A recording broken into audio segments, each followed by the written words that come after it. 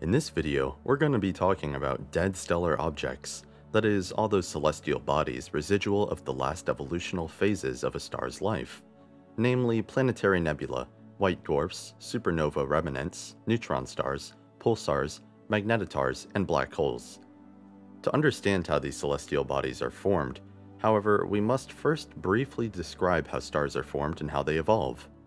All stars are formed within the densest areas of vast molecular clouds present in the interstellar medium, essentially composed of hydrogen with a quantity of helium 23 to 28% and slight traces of heavier chemical elements.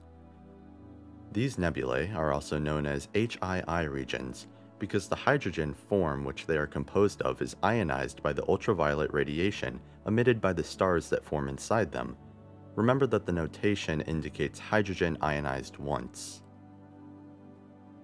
If one of these molecular clouds is crossed by the shock wave triggered by the explosion of a supernova, or is compressed by a collision between galaxies, it begins to manifest gravitational instability and then begins to contract due to its own force of gravity, and inside, in the densest areas of the nebula, a protostar begins to form, a celestial body that emits radiation precisely because of the gravitational contraction. At this point in the subsequent stellar evolution depends on the mass of the star at hand. If the mass is less than 8% of the mass of the Sun, the protostar becomes a brown dwarf, a celestial body slightly larger than that of the planet Jupiter, in which the only two sources of energy are the gravitational contraction and the fusion reactions of lithium and deuterium isotope of hydrogen whose nucleus is composed of a proton and a neutron. The relatively low temperatures of the nucleus, at most a few thousand degrees, prevent the establishment of thermonuclear fusion reactions typical of the most massive stars. Brown dwarfs have typical masses between 13 and 65 times the mass of the planet Jupiter, and in this mass range the fusion deuterium occurs. Under the limit of 13 Jupiter masses, we no longer speak of brown dwarfs, but of gas giant planets. Above 65 Jupiter masses, the fusion of lithium can also occur. Due to their very small masses, brown dwarfs cool down over time and their brightness decreases. Due to their very low brightness, brown dwarfs are not visible to the naked eye. If the mass of the star is larger than 8% of the mass of the Sun, the protostar continues towards the main sequence phase, a phase of stability in which the energy source in stars comes from thermonuclear reactions that melt hydrogen. During this phase, the stars are in a condition of hydrostatic equilibrium, in which the radiation pressure generated by the thermonuclear reactions, which tend to make the stars expand, counterbalances the force of gravity, which tends to cause the star to contract, and in the stellar nuclei temperatures are of the order of tens of millions of degrees, even in the type of thermonuclear reactions, there's a difference between depending on the mass of a star.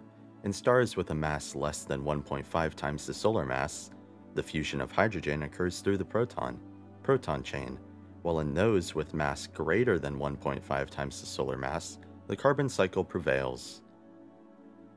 The main sequence phase has a different duration, again due to different masses of the stars. The most massive stars in fact consume hydrogen faster, so they remain in the main sequence for few tens of millions of years. Examples of this type of star are the Pleiades, stars like the Sun and smaller since they consume hydrogen more slowly, instead remain in main sequence even for billions of years. In the case of our Sun, the main sequence phase is believed to have a total duration of about 10 billion years. Currently our star is more or less in the middle of this phase. But think, the red dwarfs, even smaller than the Sun, could remain in the main sequence for longer than the age of the universe, which is currently about 14 billion years old. It's unbelievable, isn't it? Well, what do you think? Write it down in the comments. To give an idea, think about filling two vehicles with 50 liters of gasoline, a large truck and a small car. Which of the two vehicles will consume gasoline first? Obviously the truck, because being bigger and more massive than a small car, it needs a bigger engine to be able to work. What happens when hydrogen runs out of the core of a star? The star exits the main sequence phase. Since the radiation pressure generated by the combustion of hydrogen fails, the star is no longer in a condition of hydrostatic equilibrium. It will therefore tend to contract. The outermost layers of the star will then press on the innermost ones and on the core, exerting a certain pressure upon them. This increases in pressure on the central regions of the star will increase the core temperature up to values of the order of 100 million degrees, so that the new thermonuclear reactions will be triggered. This time, however, it will no longer be hydrogen to burn, but helium, and this process will produce carbon and some oxygen. The effect is that the star will expand and become a red giant. In the case of the Sun, it's believed that it will become such in about 5 billion years. If the Sun of this very distant future were in the place of our current Sun, its outer gaseous envelopes would become to lick the orbits of Venus, and even the Earth would most likely not fare well. What could happen in your opinion? Write it in the comments below. After the red giant phases, the evolution of stars continues differently depending upon their mass. In the case of less massive stars, therefore also of our Sun, the outermost layers of the red giant will slowly expand into space, a bit like a swelling soap bubble, and form planetary nebula. It is important to point out that planetary nebulae have nothing to do with planets. It seems that this denomination was first proposed around 1780 by William Herschel, to whom these expanding gas bubbles observed through his telescope clearly reminded him of planetary systems in the process of formation. Observed through the telescope, the planetary nebulae appear to be round in shape, and the appearance of some is somewhat reminiscent of a donut or smoke ring. Examples of nebulae are M27, which can be observed with the 20 centimeter telescope in the direction of the constellation of Vulpecula, and M57, in the direction of the constellation of Lyra. And what happens to the rest of the star, or the central part? Well, a white dwarf is formed, a very dense and compact object. Think that a white dwarf is about the same size as our planet, but contains a quantity of matter equal to at most 1.4 times the mass of the Sun. The value of 1.4 solar masses is known as the Chandrasekhar's limit, in honor of the astrophysicist Subrahmanyan Chandrasekhar, who derived it. This value represents the upper limit of the mass of a white dwarf.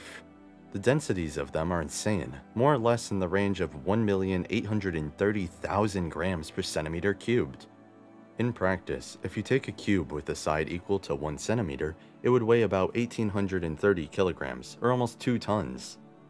What would happen to you if this cube fell on your foot? Write it down in the comments below. Due to their low luminosity, white dwarfs are not observable through the naked eye, but through Newtonian telescopes with at least 20 centimeter apertures, or at least the brightest ones can be seen. One of the most famous white dwarfs is Sirius B, companion of the more famous star Sirius in the constellation of Dog Major, just over 8 light years away from Earth. What happens to the most massive stars instead? Well, they also pass through the red giant phase, but due to their greater masses, the combustion of helium in the nucleus occurs much faster, so when the helium runs out, the radiation pressure triggered by the combustion of the helium and the same violent collapses on itself due to the force of gravity. This causes a sudden increase in temperature in the core and furthers thermonuclear reactions during which the chemical elements heavier than carbon and oxygen are produced.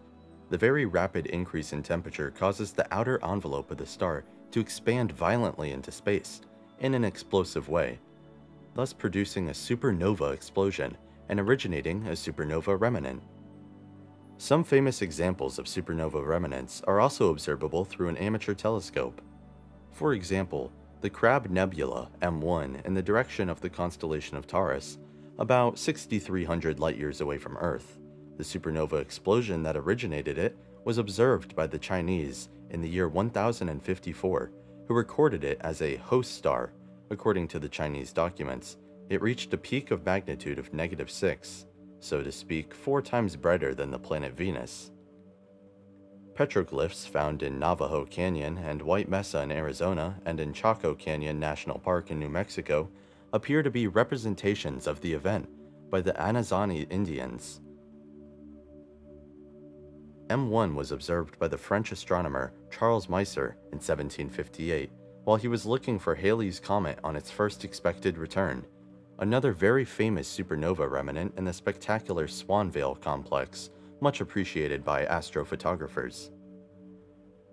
What remains of the nucleus also becomes a very dense and compact object, but not a white dwarf, but a neutron star.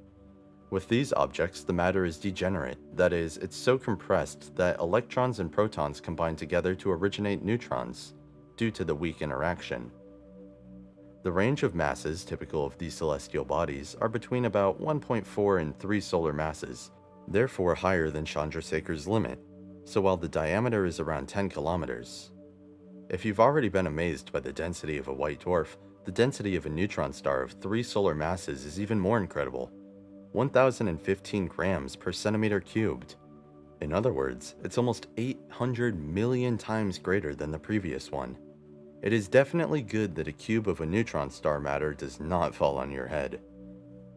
There are several types of neutron stars, the most important being the following. Pulsars. These are neutron stars that emit two beams of radio waves from the poles and rotate very quickly upon themselves, a bit like a lighthouse at the port. The fastest pulsars even spin at a thousand times on themselves in just one second. The first pulsars were discovered by astronomer Jocelyn Bell in 1967. They're not visible to the unaided eye, but through their emission in the radio band, if you have any amateur radio friends, you can ask them to let you listen to the sound of pulsars.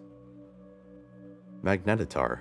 They're similar to pulsars, but are characterized by a very strong magnetic field, from 10 to the 13th to 10 to the 15 Gauss, billions of times more intense than the Earth's magnetic field, which is instead about 1 Gauss.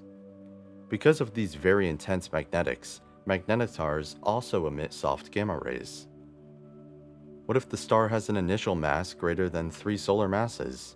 After the supernova explosion, its core does not become a neutron star, but collapses into a black hole a celestial body with a gravitational field so immense that not even light can escape. A black hole to our eyes is invisible precisely because it does not emit light. From a relativistic point of view, a black hole is a region of spacetime with a very large curvature. If you haven't already done it, drop a line below and let us know what you think.